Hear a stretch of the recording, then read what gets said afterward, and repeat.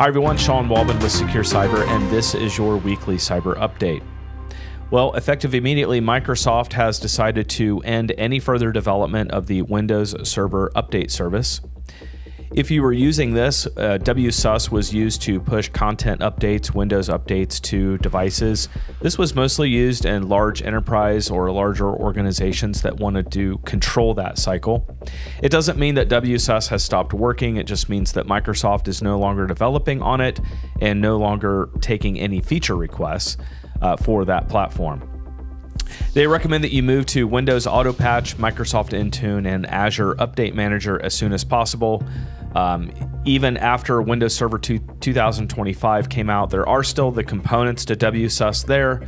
However, just keep in mind that that product is not really being paid attention to by Microsoft.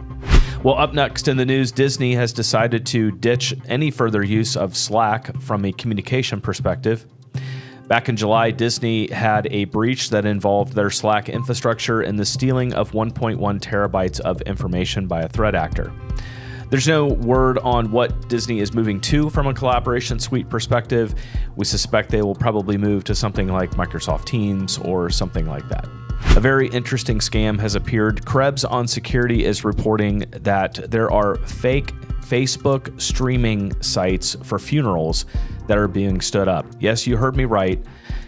The pages have the picture of the deceased, it has the correct date and time of the funeral, and apparently it redirects you to a website where you pay a fee to uh, basically view the stream that doesn't exist of the funeral. Very bizarre. It's unknown how many people have been scammed by this or if it's successful. However, uh, we have uh, Krebs is reporting that he has seen a number of fake domains being stood up in order to uh, serve this purpose.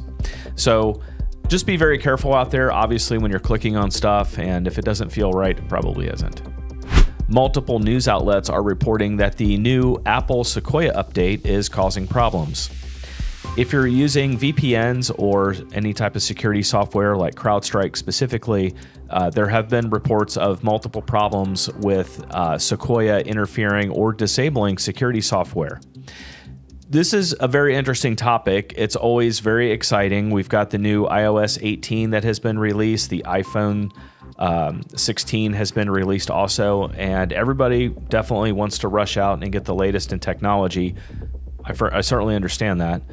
However, we've seen a big lag in the amount of time that it takes for software manufacturers specifically to catch up with a lot of these updates. So, um, just a general rule of thumb wait about 30 to 60 days uh, before you start jumping on technology and that first notification that you get, the Sequoia is available, doesn't mean that you necessarily need to rush out and get it, although people are going to. But just keep in mind that, especially if you're running sophisticated security software for enterprise, uh, or if you're um, um, if you're running VPNs like NordVPN or something like that, that there could be issues uh, with the new software updates. So just be patient, let some of those bugs get worked out. Just a follow up to the SeaTac Airport ransomware case, the Port of Seattle has decided not to pay a $6 million ransom. Yeah, you heard me right $6 million. The FBI is inv- uh, involved in investigating the case and obviously recommends do not pay the ransom. It's very interesting why this is even being entertained. It could be twofold. Obviously, this is a double extortion case uh, where they uh, have either not be, been able to recover from the ransomware case um, involving any good backups, or maybe they've got some critical systems that didn't get backed up properly. So that could be one reason.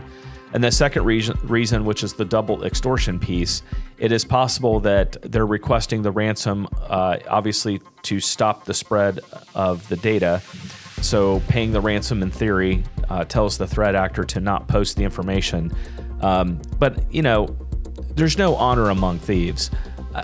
I say that once they have it, it's it's done, right? I mean, even if you do pay them the ransom, which I would never recommend you do, there's definitely no promise that they've not spread any of the information or made copies of it for themselves. So, back to the first uh, piece of the uh, of the story. Generally, why why we see organizations even entertaining uh, a ransomware payment is because maybe they had some backups that didn't work right, and they they're trying to restore key systems. We did notice that SeaTac was struggling to come up, which might be some indication that maybe their um, backup plans weren't working effectively. That's all we have for today. Thank you for viewing. Of course, like and subscribe this channel. We're getting a lot of great traction comments uh, down in the comment field, please, if you have questions about articles that we've uh, that we've gone over. We post all the articles down in the description, um, and we definitely like to participate in interacting with our viewers. And you know, as always, as Hill Street Blues always said, let's be careful out there.